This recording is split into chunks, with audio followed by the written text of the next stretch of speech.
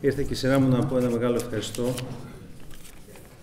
στις οργανώσεις του ΣΥΡΙΖΑ, το Χαϊδάρι, το Εγάλιο και την Αγία Βαρβάρα που και για μένα έκαναν την τιμή να έχω τη δυνατότητα απόψε να σας πω μερικές σκέψεις, να μοιραστώ ε, ορισμένες απόψεις για το θέμα της απόψινής εκδήλωσης, δηλαδή για το προοδευτικό μέτωπο απέναντι σε αυτόν τον κίνδυνο του νεοφιλελευθερισμού και της ακροδεξιάς, στον κίνδυνο της δεξιάς και της ακροδεξιάς.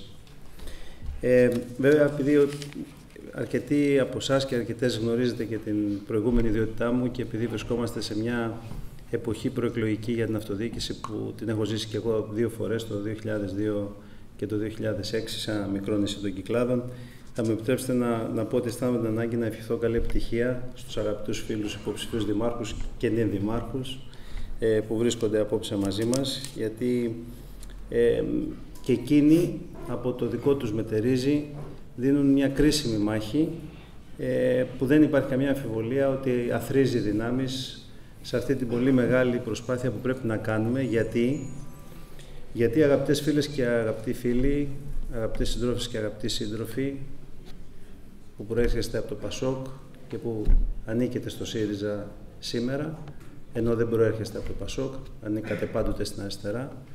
Ε, συμφωνώ απόλυτα με αυτό που είπε προηγουμένως ο Σπύρος, ο Δανέλης, ότι πράγματι ε, ο κίνδυνος είναι εδώ και δεν είναι μικρός.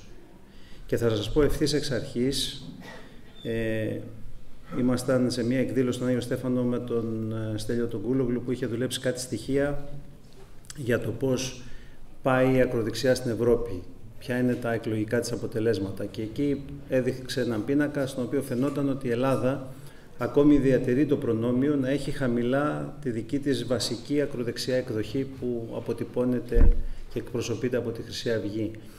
Ε, σε αντίθεση με πολλές άλλες ευρωπαϊκές χώρες που δυστυχώς η ακροδεξιά καλπάζει. Αυτό όμως προσωπικά δεν ξέρω πόσο θα διαρκέσει.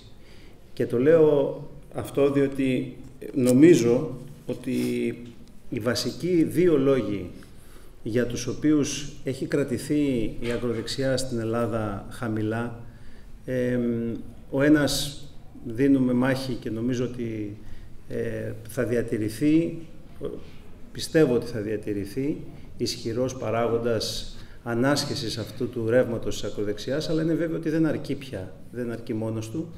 Ε, ο άλλος ως μνήμη εξασθενεί.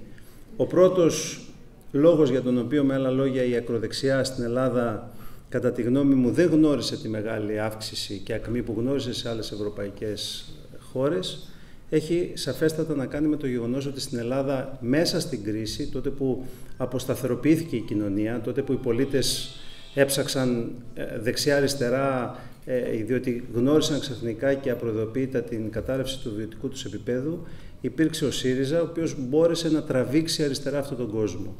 Και τραβώντας αυτόν τον κόσμο αριστερά, αυτούς τους πολίτες, είναι βέβαιο ότι στέρισε ένα ζωτικό κομμάτι δύναμης που σε διαφορετική περίπτωση θα μπορούσε πράγματι να έχει πέσει θύμα, όπως έχει γίνει σε πολλές άλλες ευρωπαϊκές χώρες, αυτής της ε, ε, τελείως υποκριτικής αλλά αποτελεσματικής όπως εκεί αποδεικνύεται ρητορικής που ακολουθούν τα διάφορα δεξιά μορφώματα. Και ο δεύτερος λόγος, που δεν ξέρω πόσο θα αντέξει ακόμη να, να καθορίζει ε, την στάση των Ελλήνων απέναντι στην ακροδεξιά, είναι η θυσία του Παύλου Φίσα. Ένα γεγονός το οποίο έπαιξε κατά την προσωπική μου γνώμη ιδιαίτερο ρόλο, ώστε να, να αποκοπεί μία σχέση που παρολίγο να δημιουργηθεί, ισχυρή σχέση μεγάλων μερίδων του ελληνικού λαού με την Χρυσή Αυγή, γιατί γιατί υπάρχουν υπεύθυνοι. Υπάρχουν πολιτικά υπεύθυνοι για αυτό που συμβαίνει και στην Ελλάδα και βεβαίως και σε όλο τον κόσμο, αλλά ας μιλήσω τώρα λίγο για την Ελλάδα. Και οι πολιτικά υπεύθυνοι δεν είναι μόνο οι μισές αλήθειες που χρησιμοποιούν τα ακροδεξιά μορφώματα. Παραδείγματος χάρη, είπε ε, αρκετά πράγματα προηγουμένως, μπορούμε να πούμε σε πάρα πολλές εκδηλώσεις πάρα πολλά πράγματα ένα, ένα, το πιο πρόσφατο παράδειγμα είναι αυτό που συντελείται αυτή η αθλειότητα, η χειδαιότητα που συντελείται σε βάρος της Συμφωνίας των Πρεσπών. Είναι μια συμφωνία καλύτερη της οποίας δεν θα μπορούσε ποτέ η Ελλάδα να πετύχει με ειρηνικά μέσα, με στρατιωτικά μέσα ενδεχομένως επειδή έχουμε και φίλους εδώ από τις ένοπλες δυνάμεις, Λοιπόν, ναι, θα μπορούσε να πετύχει πάρα πολλά. Το κρατήδιο στρατιωτικά δεν, δεν το κράτος πραγματικά στρατιωτικά θα μπορούσε να θεωρηθεί κρατήδιο, αλλά αυτό είναι έξω από, την, από τη λογική μιας σύγχρονης χώρας του διεθνούς δικαίου που θέλει και υπηρετεί το διεθνές δίκαιο όπως είναι η δική μας χώρα. Άρα με ειρηνικά μέσα δεν μπορούσαμε να πετύχουμε καλύτερη συμφωνία και δεν μπορούσαμε να πετύχουμε καλύτερη συμφωνία αγαπητές φίλες και αγαπητοί φίλοι για τον απλούστατο λόγο ότι πριν από τη συμφωνία των Πρεσπών που είναι η τελική συμφωνία ανάμεσα σε εμάς και τη Βόρεια Μακεδονία υπήρξε μια ενδιάμεση συμφωνία το 1995 και αυτή την ενδιάμεση συμφωνία, όσοι προερχόμαστε από το Πασόκ την ξέρουμε πάρα πολύ καλά και τη θυμόμαστε, την υπέγραψε η κυβέρνηση του Ανδρέα Παπανδρέου. Η καλύτερη εκδοχή της ενδιάμεσης συμφωνίας του 1995 που μπορούσαμε ποτέ να πετύχουμε λοιπόν με ειρηνικά μέσα είναι ακριβώς η συμφωνία των Πρεσπών. Το τι ψέμα, το τι χειδεότητα, το τι αθλειότητα έχει λεχθεί ε, και λέγεται συνεχώς για τη συμφωνία των, των Πρεσπών δεν περιγράφεται. Μην πάτε μακριά, δεν θα μπορούν να έχουν και να κάνουν χρήση του ονόματος Μακεδονία. Η Βόρειος Μακεδονία δεν θα μπορεί να κάνει χρήση του ονόματος Μακεδονία, το ξέρετε; Δεν το ξέρετε γιατί αρκετοί ίσως από εσάς και αρκετές, γιατί δεν λέγεται. Γνωρίζετε ότι η μόνη χώρα στον κόσμο που θα μπορεί μετά τη Συμφωνία των Πρεσπών να έχει αεροδρόμιο Μακεδονίας είναι η Ελλάδα. Η μόνη χώρα στον κόσμο που μετά τη Συμφωνία των Πρεσπών θα μπορεί να έχει Πανεπιστήμιο Μακεδονίας. Η μόνη είναι η Ελλάδα. Δεν θα μπορεί η Βόρειος Μακεδονία να έχει Πανεπιστήμιο Μακεδονίας. Δεν θα μπορεί, απαγορεύεται, να έχει αεροδρόμιο Μακεδονίας. Τα ανέκδοτα με όσους κατέβαιναν στο αεροδρόμιο της Μακεδονίας, όπως λέγεται το αεροδρόμιο Θεσσαλονίκης εδώ και χρόνια στην Ελλάδα, τα ξέρετε με, με τουρίστες που κατέβαιναν και λέγανε σε ποια χώρα τώρα είμαι; Είμαι στη Μακεδονία. Όχι, τη λέγανε στην Ελλάδα. Μα πώς είμαι στην Ελλάδα, λέει, αφού ήρθα στο αεροδρόμιο Μακεδονίας. Λοιπόν, αυτό τελειώνει. Λοιπόν, δεν είναι όμως μόνο οι μισές αλήθειες που έχουν παίξει καθοριστικό ρόλο. Είναι και η νομιμοποίηση της ακροδεξιάς ατζέντας. Και αυτή η νομιμοποίηση της ακροδεξιάς ατζέντας έχει πρόσφατο ε, παράδειγμα μέσα από το οποίο πράγματι πέρασε τη Συμφωνία των Πρεσπών, αλλά δεν είναι το μοναδικό. Οτιδήποτε σχετικό με το προσφυγικό, οτιδήποτε σχετικό με το μεταναστευτικό, μια συζήτηση που γνωρίζει τώρα την έξαρση, που γνωρίζει αυτά τα, τις τελευταίες ώρες με αφορμή του Δημήτρη και τις δηλώσεις που έκανε για την παραποίηση για να κρυβολογώ των δηλώσεων που έκανε ο Δημήτρης, έχει ιστορία, έχει ιστορία από το 2010. Όταν τότε η, Νέα Δημοκρατία του Αντώνη Σαμαρά για πρώτη φορά σήκωσε μια σημαία, τη σημαία εναντίον των νομίμων μεταναστών, των νομίμων μεταναστών, ποινικοποιώντας και ενοχοποιώντας τον νόμο που κάναμε τότε εμείς για την παροχή ηθαγένειας στα παιδιά των νομίμων μεταναστών που, που γεννιούνται στην Ελλάδα και αυτό που τελικά κατάφερε δεν ήταν τίποτα παραπάνω από το να νομιμοποιήσει την ακροδεξιά ατζέντα που βεβαίως όταν την νομιμοποιήσει αυτήν την ατζέντα όποιος την υιοθετεί είναι πάρα πολύ λογικό και φυσιολογικό να απευθυνθεί στον αυθεντικό εκπρόσωπο μιας τέτοιας ατζέντας και όχι στον, στον, ε, στον part-time, στον, στον ε, με, μερικός εκπρόσωπο αυτής της ατζέντας. Και γι' αυτό ε, τότε γνώρισε για πρώτη φορά η Χρυσή Αυγή την μεγάλη εκλογική άνοδο που γνώρισε, ενώ δεν ξέρω πόσοι γνωρίζετε, πόσοι θυμάστε ότι η Χρυσή Αυγή έχει ιδρυθεί στην Ελλάδα από το 1980, αν θυμάμαι καλά, το 1979, δεν ιδρύθηκε τώρα. Τώρα, τώρα επί Σαμαρά, επί Νέας Δημοκρατίας του Αντώνη Σαμαρά, γνώρισε τη μεγάλη έκρηξη που γνώρισε. Εμείς... λαοσυνάξεις Θεσσαλονίκης, τότε, το 1992 το 92, αλλά έχει ιδρυθεί ως κόμμα, γιατί το είχα ψάξει, νομίζω αν δεν κάνω λάθος, το 79, το 80, ε, είχε τότε κάνει τα πρώτα της βήματα. Εμείς τι μπορούμε να κάνουμε; Λοιπόν, εμείς εδώ αυτό που, που πρέπει να κάνουμε και μπορούμε να κάνουμε, το κάνουμε ήδη, αγαπητές φίλες και αγαπητοί φίλοι, γιατί είμαστε απόψε εδώ, είσαστε απόψε εδώ.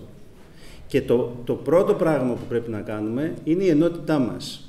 Δεν μπορείς να πας απέναντι σε τέτοιο αντίπαλο ο οποίος σκοτώνει και δεν σκοτώνει μόνο τη δημοκρατία, σκοτώνει και την ανθρώπινη ζωή. Και δεν σκότωσε την ανθρώπινη ζωή μόνο εδώ στην Ελλάδα, αναφέρομαι στην περίπτωση του Παύλου Φίσα, σκοτώνει σε όλο τον κόσμο. Το τελευταίο παράδειγμα είναι η Νέα Ζηλανδία. Λοιπόν, το πρώτο και βασικό που πρέπει να κάνουμε είναι να ενωθούμε.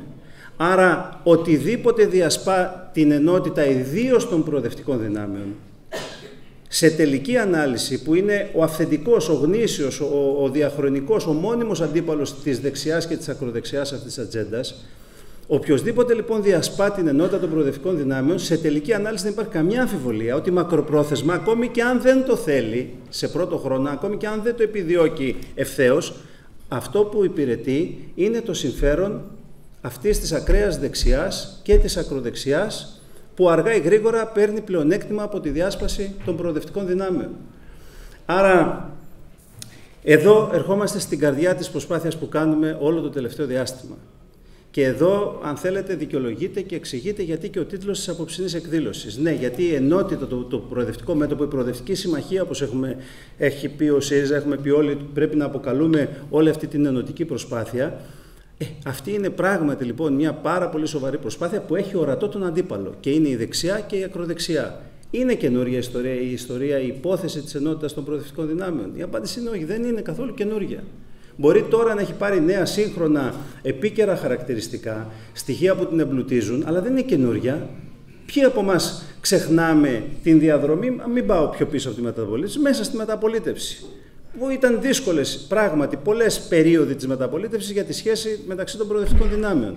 Όμως υπήρχαν και περίοδοι πολύ, πολύ θετικής ε, ενέργειας και αν θέλετε ατμόσφαιρας, ενωτικής ατμόσφαιρας, ακόμη και συνεργασίας μεταξύ των προοδευτικών δυνάμεων. Δεν ήταν αυτή η δεκαετία του 70, δεν ήταν ένα πολύ μεγάλο κομμάτι αυτό της δεκαετίας του 80, που θυμόμουν τις προάλλες και συζητούσαμε σε μια εκδήλωση πάλι που ήμασταν στην Άφησα ότι πόσα χρόνια έχουν περάσει που υπήρχαν από κοινού ε, συγκροτήσεις συλλογικών οργάνων και στο συνδικαλιστικό κίνημα και στο φοιτητικό κίνημα από κοινού ε, με την ε, σύμφωνη γνώμη των κομμάτων της αριστεράς, του Πασόκ εκείνης της εποχής και ε, άλλων εκδοχών του, του προοδευτικού χώρου. Ακόμη και το 89, θέλω να θυμίσω ιδίως στους αγαπητούς και αγαπητές συντρόφους που προερχόμαστε από το Πασόκ, ακόμη και το 89, τότε στη μεγάλη κρίση των σχέσεων του Πασόκ με την αριστερά, γιατί είχαμε, τότε είχε γίνει η παραπομπή του Ανδρέα Παπανδρέου. Ποιος, ποιος ξεχνάει ότι ο ίδιος ο Ανδρέας Παπανδρέου είχε πάρει απόφαση ώστε το Πασόκ συνεργαζόμενο με τον ενιαίο τότε συνασπισμό μετά την παραπομπή του και ενώ αν θυμάμαι καλά η δίκη δεν είχε ακόμη πραγματοποιηθεί να κατεβάσουμε από κοινού υποψηφίους στους Δήμους στη Θεσσαλονίκη, την Αθήνα και τον Πειραιά. Είχαμε κατεβάσει τη Μελίνα από κοινού, την Αείμνηστη στην Αθήνα, τον Φατούρο, τον Μίμη στη Θεσσαλονίκη και τον Στέλιο Λογοθέτη στον Πειραιά. Και μετά από λίγους μήνες είχαμε από κοινού κατεβάσει κοινούς υποψηφίους στις μονοεδρικές. Είχαν γίνει κάτι επαναληπτικές σε μονοεδρικές εθνικών εκλογών για το Εθνικό Κοινοβούλιο και πάλι υπήρξε συνεργασία. Το 2008, το 2008 πραγματοποιήθηκε συνέδριο του Πασόκ. Και ο Γιώργος Παπανδρέου που τότε είχε μόλις εκλεγεί στη μάχη με την αντιπαράθεση με τον Βενιζέλο και τον Σκανδαλίδη, είχε έρθει στο συνέδριο του Πασόκ ο μόλις τότε εκλεγής πρόεδρος του ΣΥΡΙΖΑ, ο Λέξος Τσίπρας είχε ε, μιλήσει κιόλας στο συνέδριο εκείνο και είχε γίνει, ε, η υποδοχή ήταν πάρα πολύ θερμή. Μάλιστα τότε σας θυμίζω ότι με το που είχε εκλεγεί ο Αλέξης Τσίπρας ένα, είχε, είχε βγει στις δημοσκοπήσεις πάνω από το Πασό, ο ΣΥΡΙΖΑ. Λοιπόν, σε εκείνο το συνέδριο, ο Γιώργος Παπανδρέου το 2008, δεν σας πάω επαναλαμβάνω μετά τον πόλεμο, πρότεινε κυβερνητική συνεργασία εκ μέρους όλου του Πασό στο ΣΥΡΙΖΑ. Άρα αυτή δεν είναι μια παλιά ιστορία, δεν είναι μια παλιά συζήτηση, έχει περάσει πολλές διακυμάνσεις, έχει βρει στέρεο έδαφος, ιδίως στην αυτοδιοίκηση και σε κοινωνικούς χώρους και έχει καταφέρει να, να, να, να δομηθεί σε στέρεο έδαφος σε αυτές τις περιπτώσεις, αλλά παλιά και εν πάση περιπτώσει ξεπερασμένη συζήτηση σε καμία περίπτωση δεν είναι. Αυτοί οι οποίοι σήμερα έρχονται κοντά σε αυτή τη συζήτηση, δεν είμαστε εμείς, αγαπητές φίλες και αγαπητοί φίλοι, αγαπητές συντρόφοι και αγαπητοί σύντροφοι. Δεν είμαστε εμείς τα στελέχη, νυν υπουργοί, νυν βουλευτές, πρώην υπουργοί, πρώην βουλευτές. Είναι πρώτα και κύρια οι ίδιοι πολίτες. Δεν είναι τυχαίο ότι από τα 3 εκατομμύρια ψήφους που πήρε το Πασόκ το 2009, ένα πολύ μεγάλο κομμάτι, δεν ξέρω αν το υπολογίσω, αν θα είμαι ακριβής, αν πω 1,5 εκατομμύριο, 2 εκατομμύρια, έχει ήδη ψηφίσει ΣΥΡΙΖΑ σε κάποια από τις προηγούμενες εκλογικές αναμετρήσεις από το 12 και μετά, σταδιακά. Ε, πρόκειται για ένα αριθμό που προφανώς διαρκώς αυξα, αυξανόταν μετά το 2012. Άρα έχουμε ήδη εδώ ένα μεγάλο κομμάτι της εκλογικής προοδευτικής βάσης, να το πούμε έτσι, των προοδευτικών πολιτών, ήδη να έχει κάνει αυτή την επιλογή.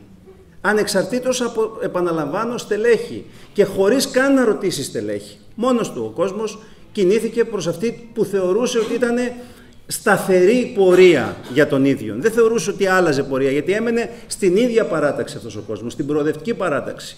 Αυτοί που αλλάζουν παράταξη δεν είναι αυτοί που πάνε από το ένα κόμμα των προοδευτικών δυνάμεων σε ένα άλλο. Αυτοί που αλλάζουν παράταξη είναι αυτοί που φεύγουν από την προοδευτική παράταξη στην αριστερά ή το Παζόκ και πάνε στη δεξιά και πάνε στη Νέα Δημοκρατία.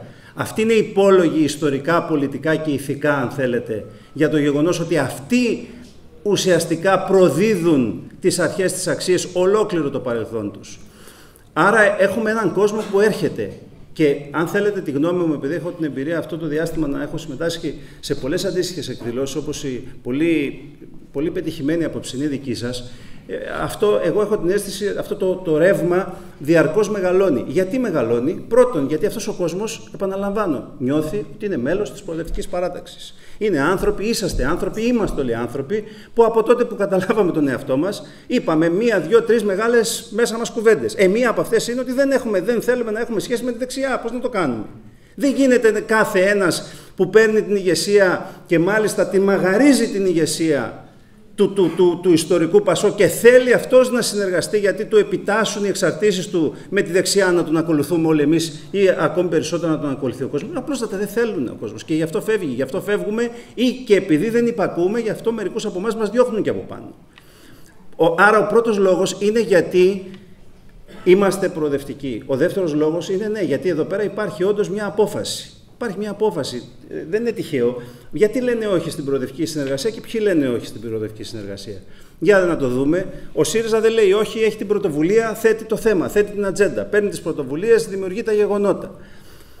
Ε, στελέχη ε, πρώην από διάφορες κινήσεις κλπ. κλπ. δεν λένε όχι, έχουν πλαισιώσει την προοδευτική συμμαχία. Εκατοντάδες χιλιάδες εκατομμύρια προοδευτικοί πολίτες δεν λένε όχι, ήδη είναι εδώ, ήδη έχουν έρθει εδώ και έρχονται όλο και περισσότεροι. Ποιοι λένε λοιπόν όχι, ένα, ένα κόμμα λέει όχι. Μία πολιτική ηγεσία λέει όχι. Ποια είναι αυτή η πολιτική ηγεσία, το κίνημα αλλαγής. Η φόφη γεννηματά δεν λέει κανείς άλλος όχι. Και μάλιστα λέει ένα όχι κατά τρόπο που δεν έχει ποτέ άλλοτε υποθεί. Η κουβέντα, αγαπητές φίλες και αγαπητοί φίλοι, και με αυτό και ακόμη ένα θα τελειώσω γιατί ε, νομίζω ότι είναι καλό να, να μην σας κουράσουμε, να πούμε συνοπτικά κάποια πράγματα και τη βασική ομιλία να την κάνει αμέσως μετά ο υπουργός. Η, η κουβέντα ότι στρατηγικός αντίπαλος είναι ο ΣΥΡΙΖΑ είναι μια κουβέντα που δεν την έχει ξεστομίσει ποτέ κανένας, ιδίως από την προοδευτική παράταξη. Ο, ο, ο, ο Ανδρέας Παπανδρέου, η 3η του Σεπτέμβρη, τώρα απευθύνομαι στους συντρόφους από το Πασόκ, πότε τόλμησαν, διανοήθηκαν να ξεστομίσουν μία αντίστοιχη τέτοια κουβέντα; Τότε δεν υπήρχε ΣΥΡΙΖΑ, υπήρχε ο συνασπισμό, υπήρχε η ελληνική αριστερά, υπήρχε το κουκουέ εσωτερικού. Ακόμη και το κουκουέ. Ποτέ, ποτέ, ποτέ στα χρονικά. Πάντοτε η θέση ήταν μία. Υγιές άλλωστε είναι αυτό. Αυτό είναι το υγιές. Ότι στρατηγικός αντίπαλος είναι δεξιά. Ακούτε τη φόβη γεννηματά και τους ακούτε και τώρα τελευταίες μέρες πάλι να ξαναλένε και θα το λένε και εν ώψη εκλογών πολύ συχνότερα το επόμενο διάστημα και το άλλο, το, το, το, το περιβόητο. Λέει εμείς δεν ξέρουμε, εμείς δεν είμαστε ούτε με τον έναν ούτε με τον άλλον, ε, εμείς θα δούμε, θα μας πει ο πολίτης ανάλογα τι θα ψηφίσει και πάει λέγοντας γιατί θέλουν να πούν το όχι στην προοδευτική συνεργασία. Και το ερώτημα είναι, αν ειλικρινώς δεν θέλουν τη συνεργασία με τη Νέα Δημοκρατία, την μετεκλογική κυβερνητική συνεργασία, αν η Νέα Δημοκρατία κερδίσει τις εκλογές. Τότε γιατί δεν λέει φόβη γεννηματά αυτό που είπε ο Ισπανός Σάντσεθ, ο σημερινός πρωθυπουργός, που από ό,τι δείχνουν οι δημοσκοπήσεις πάει από το καλό στο καλύτερο, ο οποίος σας θυμίζω ότι όχι μόνο είπε ότι δεν θα δώσω ψήφο εμπιστοσύνη σε κυβέρνηση της Ισπανικής δεξιάς με επικεφαλής τότε το Ραχώη, αλλά παρετήθηκε από βουλευτής προκειμένου να κάνει πράξη το όχι του.